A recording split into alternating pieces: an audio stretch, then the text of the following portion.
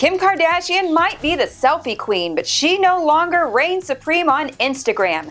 That honor belongs to her sister Kendall. Hey there, it's Keri Lumm with Buzz60, and hopefully sibling rivalry isn't a huge deal in the Kardashian Jenner clan. Kim Kardashian West had the most liked photo of 2014 when she shared a photo of herself kissing her new husband Kanye West.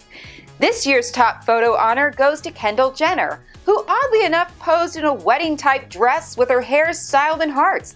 The photo gained 3.2 million likes. That's the same as the entire population of Chicago giving a heart to this picture. The second most liked photo of 2015 goes to Taylor Swift, who posed next to a huge thing of white roses from Kanye West. Swift had several of the top photos, three of which included her cats.